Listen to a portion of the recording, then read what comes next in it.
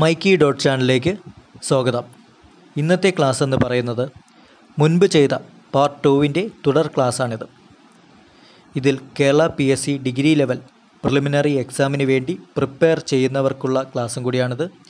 Degree level preliminary സിലബസിലെ ശാസ്ത്ര സാങ്കേതിക വിദ്യ എന്ന വിഷയത്തിനെ ബേസ് ചെയ്ത് പറയുന്ന ക്ലാസ്സാണിത് വരാനിരിക്കുന്ന ഡിഗ്രി ലെവൽ പ്രിലിമിനറി എക്സാമിന് സയൻസിൽ നിന്നും ചോദിക്കാൻ സാധ്യതയുള്ള ഇമ്പോർട്ടന്റ് ചോദ്യങ്ങളും ഉത്തരങ്ങളുമാണ് ഇതിൽ ഷെയർ ചെയ്യുന്നത്.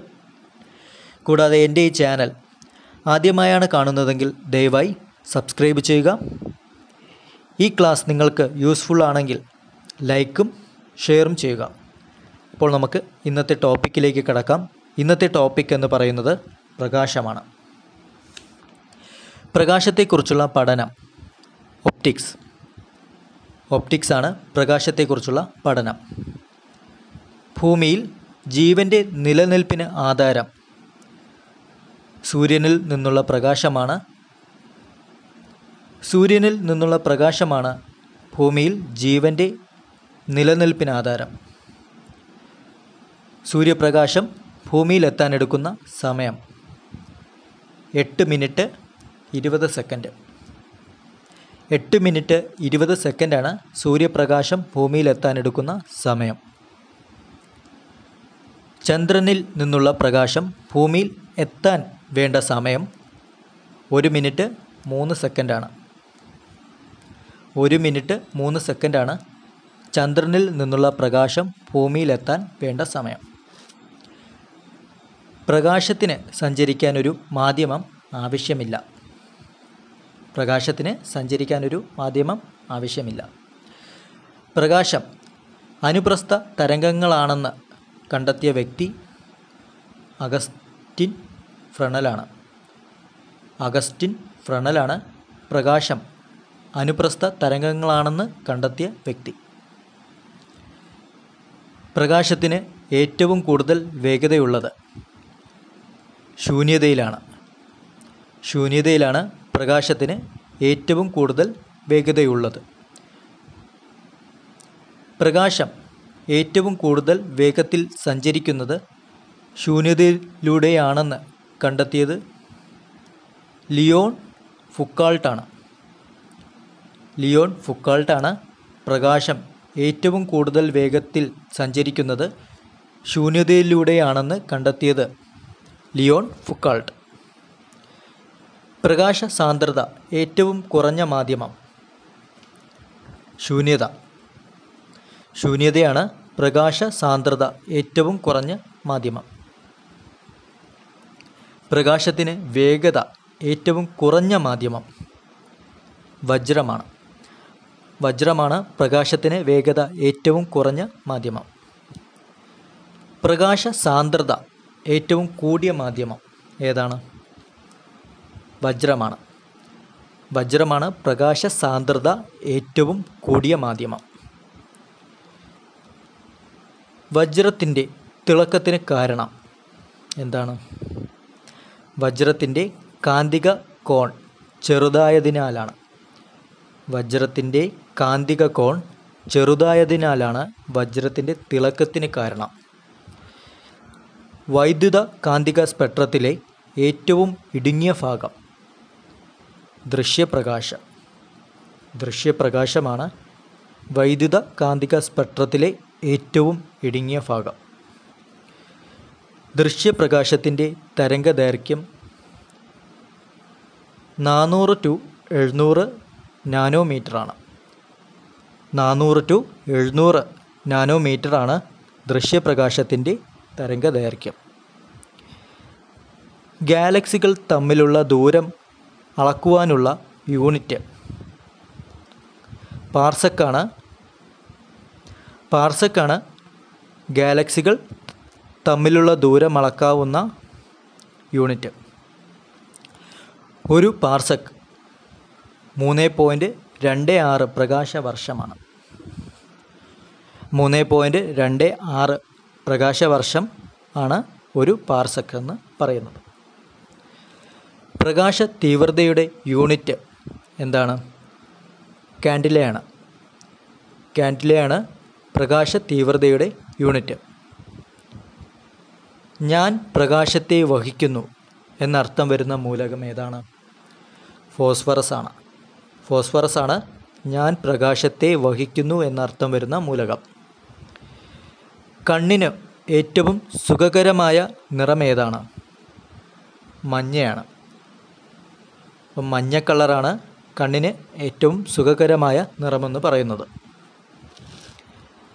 മഞ്ഞുള്ള പ്രദേശങ്ങളിൽ മോട്ടോർ വാഹനങ്ങളുടെ ഹെഡ്ലൈറ്റുകളിൽ ഉപയോഗിക്കുന്ന നിറം ഏതാണ്? മഞ്ഞ കളറാണ്. അപ്പം മഞ്ഞയാണ്. മഞ്ഞുള്ള പ്രദേശങ്ങളിൽ മോട്ടോർ വാഹനങ്ങളുടെ ഹെഡ്ലൈറ്റുകളിൽ ഉപയോഗിക്കൂ ഉപയോഗിക്കുന്ന നിറമെന്ന് പറയുന്നത് മഞ്ഞ. സയന്റിഫിക് ലബോ ലബോറട്ടറികളിൽ അപകടത്തെ സൂചിപ്പിക്കുന്നതിന് വേണ്ടിയുള്ള നിറമേതാണ് മഞ്ഞയാണ്. മഞ്ഞയാണ് സയന്റിഫിക് ലബോറട്ടറികളിൽ അപകടത്തെ സൂചിപ്പിക്കുന്നതിന് വേണ്ടിയുള്ള ഉപയോഗിക്കുന്ന നിറം മഞ്ഞയാണ്. പ്രകാശത്തിന്റെ തരംഗ ദൈർഘ്യത്തിന്റെ യൂണിറ്റ് ആങ്സ്ട്രമാണ്. പ്രകാശത്തിന്റെ തരംഗ ദൈർഘ്യത്തിന്റെ യൂണിറ്റ് ആങ്സ്ട്രമാണ് പ്രകാശത്തിന്റെ വേഗത ഏതാണ്ട് കൃത്യമായി കണക്കാക്കിയ അമേരിക്കൻ ശാസ്ത്രജ്ഞൻ Albert A Michelson. Albert A Michelson ആണ് പ്രകാശത്തിന്റെ വേഗത ഏതാണ്ട് കൃത്യമായി കണക്കാക്കിയ അമേരിക്കൻ ശാസ്ത്രജ്ഞൻ. പ്രകാശത്തിന്റെ അടിസ്ഥാന കണമായ ക്വാണ്ടം അറിയപ്പെടുന്നത് ഫോട്ടോൺ. ഫോട്ടോണാണ് പ്രകാശത്തിന്റെ അടിസ്ഥാന കണമായ ക്വാണ്ടം എന്നറിയപ്പെടുന്നത്. പ്രകാശത്തേക്കാൾ വേഗതയിൽ സഞ്ചരിക്കുന്ന കണം ടാക്യോൺ. പ്രകാശത്തേക്കാൾ വേഗതയിൽ സഞ്ചരിക്കുന്ന കണം ഏതാണ്? ടാക്യോൺ ആണ് ഏറ്റവും കൂടുതൽ താപം ആഗിരണം ചെയ്യുന്ന നിറം. എല്ലാ വർണങ്ങളെയും ആഗിരണം ചെയ്യുന്ന നിറം ഏതാണ്? കറുപ്പാണ്.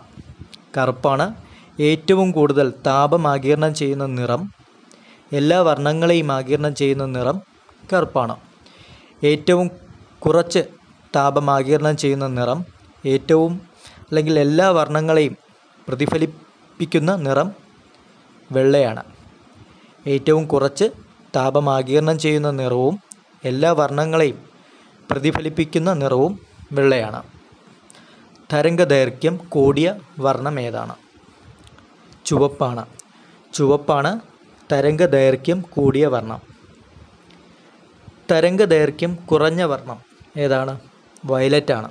വയലറ്റാണ് തരംഗദൈർഘ്യം കുറഞ്ഞ വർണം. ഒന്നിൽ കൂടുതൽ വർണങ്ങൾ സംയോജിച്ചുണ്ടാകുന്ന പ്രകാശം.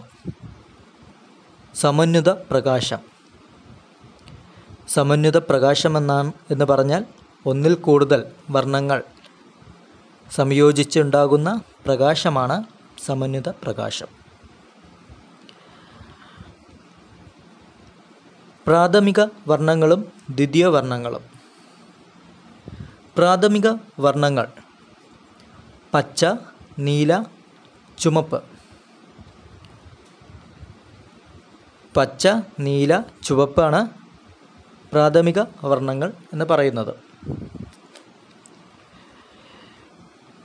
ഈ പച്ച നീല ചുവപ്പ് ഓർമ്മിച്ച് വയ്ക്കാൻ പനിച്ചു എന്നൊരു കോഡ് ഭാഷയിൽ പറഞ്ഞാൽ മതി വിചാരിച്ചാൽ മതി ഓർമ്മിച്ച് വെച്ചാൽ മതി. പ്രാഥമിക വർണങ്ങൾ എന്ന് പറഞ്ഞാൽ പനിച്ചു. പച്ച നീല ചുവപ്പ്. പ്രാഥമിക വർണങ്ങൾ കൂടിച്ചേരുമ്പോൾ ലഭിക്കുന്ന വർണങ്ങൾ ദ്വിതീയ വർണങ്ങൾ. പ്രാഥമിക വർണങ്ങൾ കൂടിച്ചേരുമ്പോൾ ലഭിക്കുന്ന വർണങ്ങളെ പറയുന്നത് ദ്വിതീയ വർണങ്ങൾ.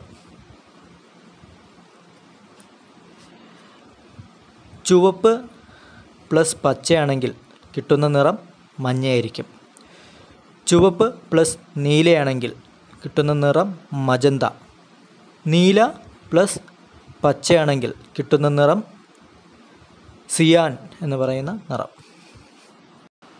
ഈ ക്ലാസ് ഉപകാരപ്രദമായാൽ ദയവായി സബ്സ്ക്രൈബ് ചെയ്യുക ലൈക്ക് ചെയ്യുക ഷെയറും ചെയ്യുക. Okay. Goodbye and good luck.